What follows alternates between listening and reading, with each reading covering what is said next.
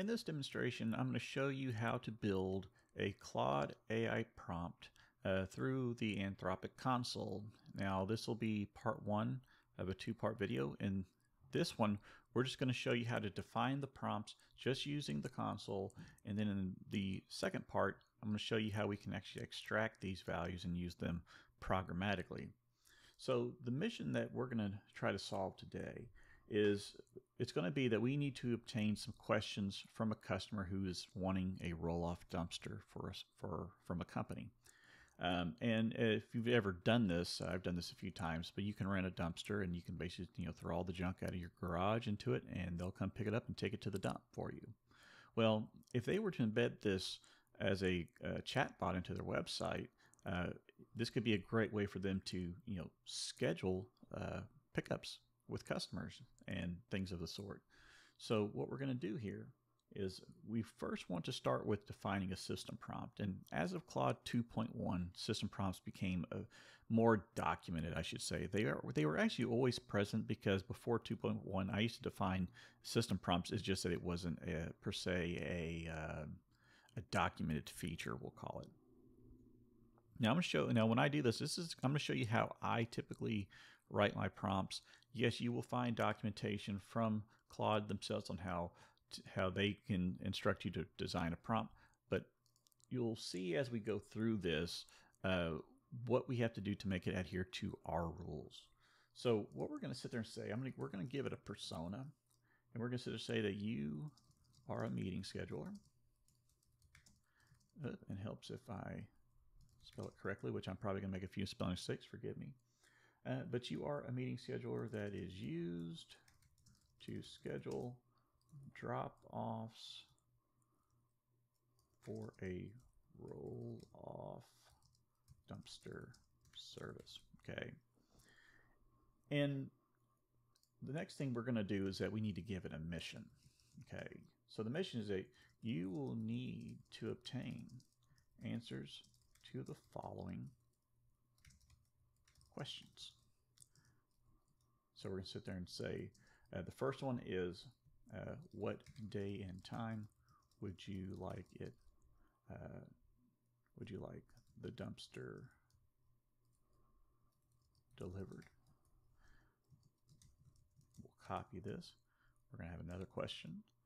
Uh, what day and time would you like the dumpster uh, picked picked up? And we're going to say for the third one, what size dumpster do you need? Uh, we, of course, need to make that to a question.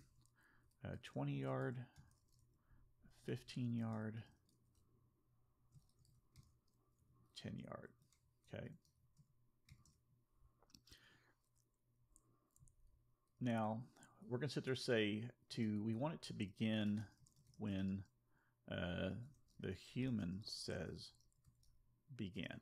Now, the reason I'm, I'm, I'm instructing it in this uh, particular way is you think about it, if this operates as a chat bot, think of somebody coming into the chat and then, and then they want to initiate the chat. So you would do this to sort of mimic that the human wanted to begin. And you'll see that we now have a prompt and then we're going to click run over here. And, and as you'll notice, you know, it's, it's, it's not necessarily hallucinating, but it, as you can see, it's expecting uh, some additional information from us. You're a meeting scheduler, and we'll sit there say named Amber that is used to schedule drop-offs for a dumpster business. We'll run this again. And as you see, uh, now it's giving us a more personalized response. And before we get started, do you have a few minutes uh, to go over the details? Uh, and then it's asking, you know, what day time would you like the dumpster? So let's just pretend that the person didn't read the entire message and they say, uh, uh, I, I, I will say I have time. I, I have time to, to, to do this. And it should give basically an acknowledgement to this sort of message. Okay. And as you see, it's actually doing some extra stuff that we didn't expect. It's asking about when they want to be. See, the thing is, it's asking too many questions. Need to, to we're going to say to only the following questions. And we're keeping this sort of limited in scope because we don't want to get too crazy with it off the bat. But they're going to say, what day and time would you like it delivered? So we're going to add this to the conversation. And I'm going to say uh, next uh, Friday at 5 p.m. And we're going to run again. And as you see, it's going through the flow that, you know, that we like, right? Um, but since it's already behaving in the way that we want to so far, we need to now make adjustments to our prompt so that uh, we can use this programmatically. Uh, because most of the time when people use a, service like Claude or ChatGPT, they're just using it as, as a simple input output of text. Whereas when you're a developer, well, that's not going to be that easy because you're going to be able to extract this information and then use it for whatever your purpose is. So um, I'm going to tell it to give a, a, a response format that is valid JSON. And then I'm going to tell it the JSON structure that I want it in. And so we're going to want a key of, uh, we're going to say response. This will be a string. And this is going to be what you say to the human. We're going to have one that's going to be for the question. This is going to be what the AI is going to ask the the human, right? We're going to say now this is what you ask of the human, right? And it's important that, the, that we add these levels of context. That way it, it better understands what we want it to do. And then we're going to need a, uh, we'll say pickup at, we'll call this, we'll just call this a date time. And then we're going to call it, uh, actually, let's call this a deliver at. And then we have a pick up at. And then we're also going to need the size of the dumpster, right? And if we run this again, we should get a JSON format. And as you see, we do. It's and it's also adhering to the things that we said. You know, it's issued the response. So what it's going to say to the person, but then it's going to have what it's going to ask of the person. Now, if you click add to conversation, you're going to see it, it puts the whole JSON, which technically we don't need that. So what you would do programmatically is that you would decode this JSON object you would extract just the question that you want to uh, ask next, next, right? We're to click run. Oh, oh, I need to give them a day and time. So we're to say uh, next Friday at 5 p.m. Now we're going to click run and we should see some changes to that JSON structure. And as you see, it is saying, it is defining a, a deliver at, um, but Something uh, you'll see here, though, is that it says 224 of 2023, which is much earlier in this year because today it's currently December 3rd, 2023. And so the issue here is that because Claude's databases, right, are essentially up to a certain point in time in this year. So the question you're going to sit there say is, well, how do we, you know, how do we, you know, solve that sort of problem? So what we're going to do is that we're going to now say we're going to give it a time reference. We're going to say start on or after. And we're going to, I'm going to put today's date, which is 12 3, and it's currently 12 33 p.m., right? Now, if I run this again, we should see this, this section here adjust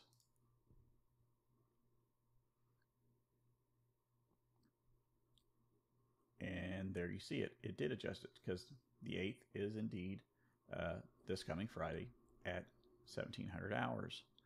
Now, something I did notice is that it doesn't have the pickup at, which we'll, we'll have to experiment with that shortly, but it's not, not that big of a deal right now. So we're going to copy the question. So when they would like it picked up. And we're going to respond as a human. I'm going to say Monday at 10 a.m.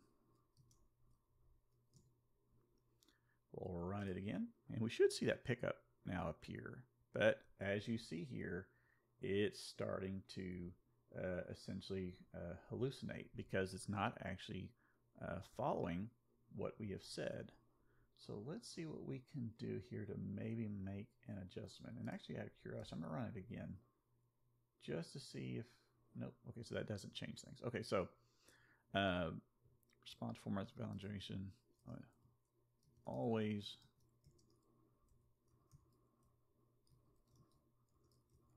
respond with, I cannot type, always respond with this.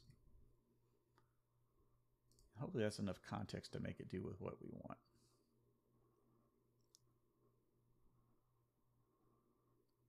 So let's see, maybe is, is it a, maybe we need to do exclamations just to see if that is going to be what pulls it together.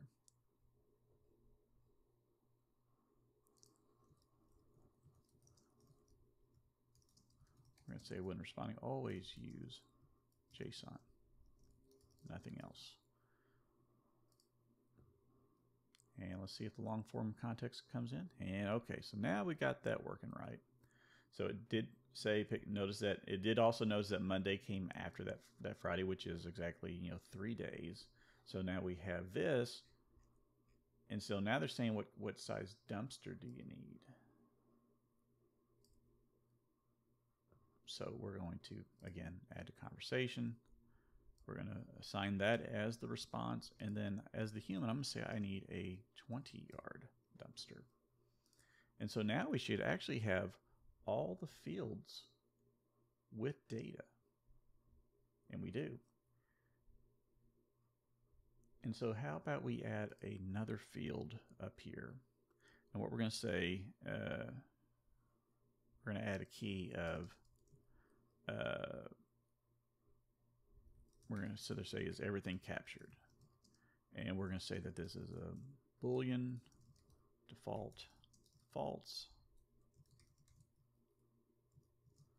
And then we're going to say this becomes true when we we have all the required information. So if we do run this again, we should see this new key value pair come into play.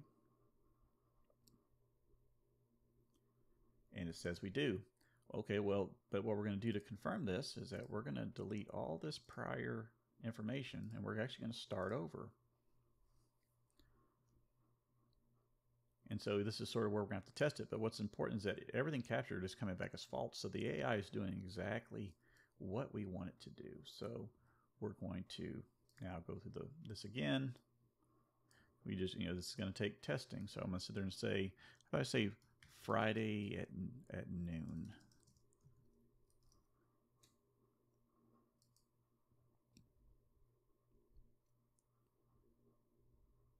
All right, so Friday at noon. So it's doing that correctly. So I'm going to copy this, that last question mark.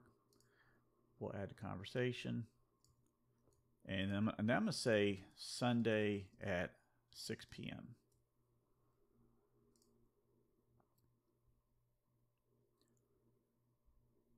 And as you see here, now it's gonna now it's asking me as it should for what size dumpster.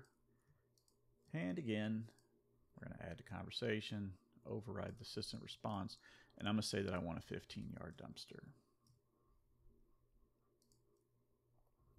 And if everything goes right, that uh, everything captured should now be a true value. Response from Claude is empty. It might be because you pre-filled the response. Well, no, I answered with what you wanted. I think that this is just Claude having a hiccup. Yeah, that's what it was. So when we get when, when we go to tackle this programmatically, I'll show you how we can kind of uh, get over some of these situations. But as of right now, as you see, Claude is obeying the rules that we gave it. You know, it's it's is issuing responses. Now, of course, there's nothing else to, to question here. So how about we give it a, another another rule? So we're going to say uh, when you have all the information. Actually, we don't we want we don't need to do that because we're, we're actually not going to be asking a question we're just going to issue a response, just like it has here, because it says, okay, I have the dumpster scheduled uh, for Friday and then pick up on schedule on Sunday at 6 p.m. Your request a, a 15 yard dumpster, and but what we can also say is, uh, once you have all the information captured, uh, tell them, tell them, you know, we'll say, thank you. Uh, you know, you can do stuff like this. So let's see what we get here. You see how it says thank you. Uh, we're just going to say uh, thank you. Uh, we have your delivery scheduled.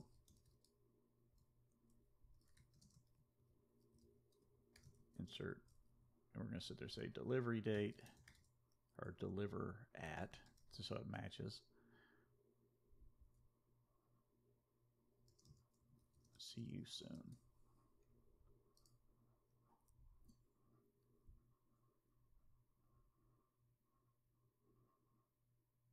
And sort of, sort of hallucinating again. So let's go ahead and just take this back out but that could be a challenge for you to to work on when you want to start you know working with these prompts and that's what let me challenge you with that take what i just took out and try to find a solution and reply in a comment tell me what you did. And if you found this video useful useful be sure to follow me uh, dalton cast and you can also follow me on twitter slash x at jordan k. Dalton. Have a good day